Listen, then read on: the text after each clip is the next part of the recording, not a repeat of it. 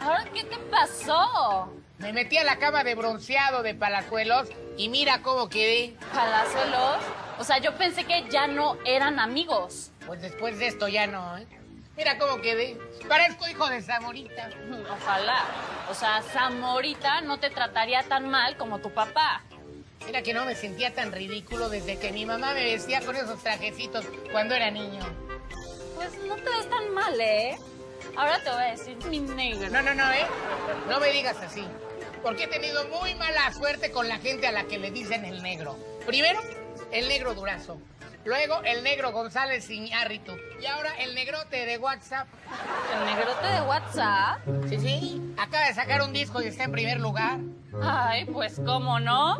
Con ese microfonote. ¡No me digas!